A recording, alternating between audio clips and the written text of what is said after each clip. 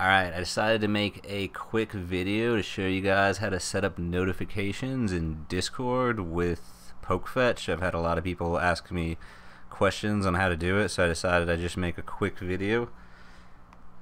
So I'm going to head on over to PokeFetch. So I've already bought a paid scan. As you can see this big bubble around here is me and I've set this cursor pretty much in the middle of it.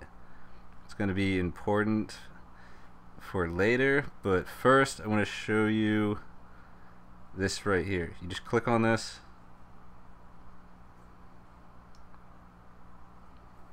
Accept the invite. Download the app if you don't have the app.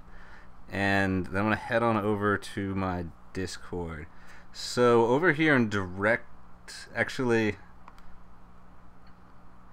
over here on the Poke Hunter page, you're going to see these two bots over here on the side. So the one you're going to want is hunter bot. So private message HunterBot. Just say, we'll just say K. I've already have mine set up, but if you say it, if you tell it anything, it'll start giving you these installations instructions right here. So you're going to need the coordinates to your scan.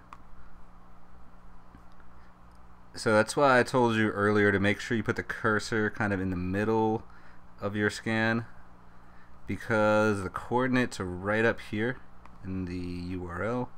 So you just copy that and then paste it over here. So you got to type exclamation point set up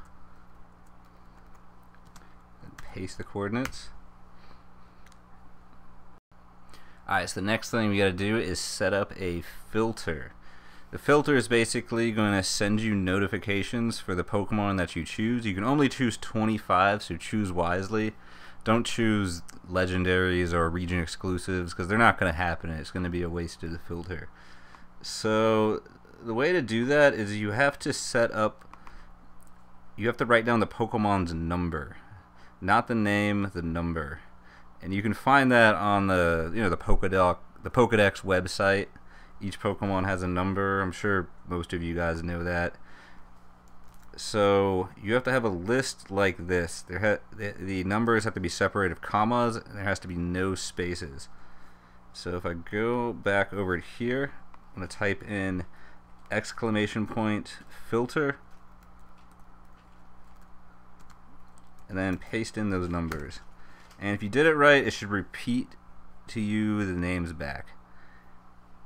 And if you want to stop notifications, you can press exclamation point, stop, and it'll turn it off, or you hit exclamation point, and that's all there is to it and you see I've gotten some cool notifications all day you just kinda you kinda just have to wait.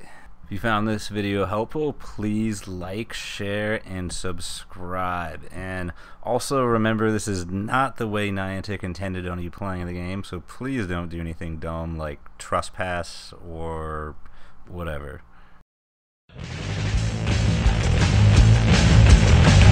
Whatever